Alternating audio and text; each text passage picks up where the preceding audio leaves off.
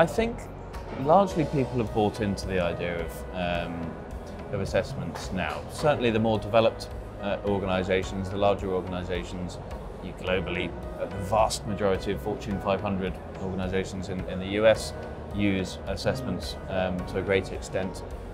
And yeah, locally, I think it's still important to get the um, the opinions of, of future line managers, hiring managers, and, and HR around people.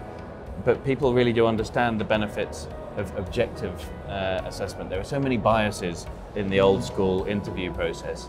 Um, so many efficiencies that you that you lose that can be brought in by assessments. So no, I, I think now normally the conversation is not about whether an organisation should use, should use assessment or not. It's more about which assessment is the best fit for what they need.